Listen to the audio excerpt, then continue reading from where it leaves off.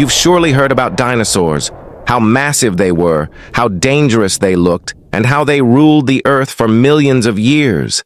But no one has probably told you how these giant creatures actually came into existence.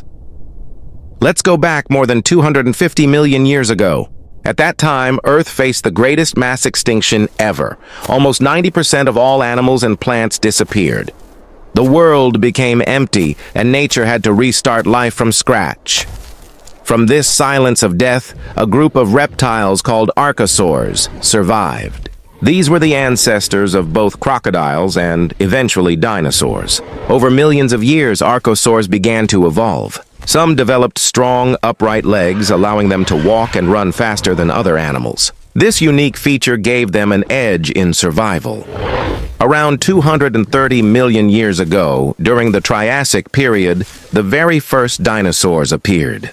At first, they were small bipedal creatures, not the giant monsters we imagine today. But with time, they adapted, grew larger, and spread across the planet. So, dinosaurs were not born overnight. They were the result of evolution after destruction, rising from the ashes of the greatest extinction in history.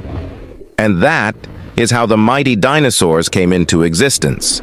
Not by chance, but through millions of years of survival, adaptation, and evolution.